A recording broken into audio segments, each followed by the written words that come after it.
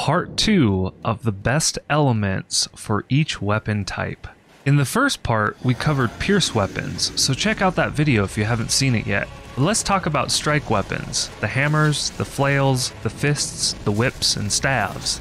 And a quick reminder that we're focusing on easily understanding good weapon choices for each of the boss types and which elements will be good to put on those weapons. Let's get into it.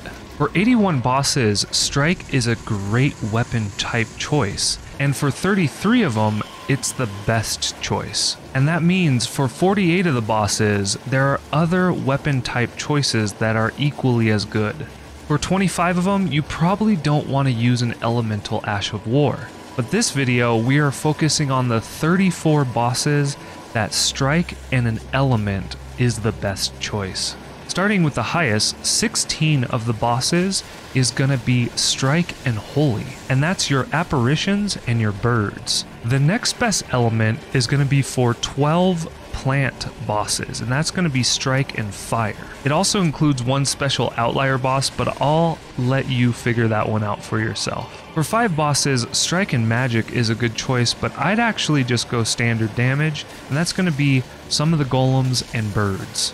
And lastly, we have one boss that is vulnerable to strike and lightning.